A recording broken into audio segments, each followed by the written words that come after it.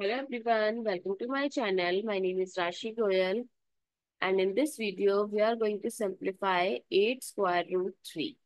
So let's simplify this. So to simplify 8 square root 3, we can factor out the perfect square. So which I can write it as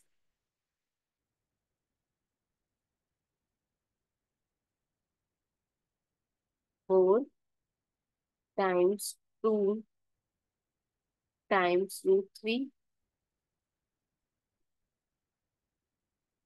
Now 4 times this 2, I can write it as under square root 2 square times 3. That is 4 times 4 times 3. 4 times under square root 12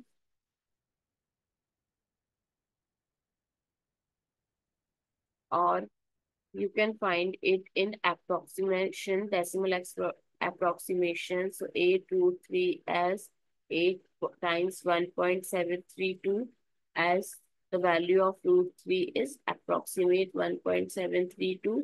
So when we multiply it, we get 13.856. So 8 root 3 is approximately 13.856. I hope it's clear and you find it useful. So please give us a thumbs up and do subscribe to my channel. Stay tuned for more upcoming videos.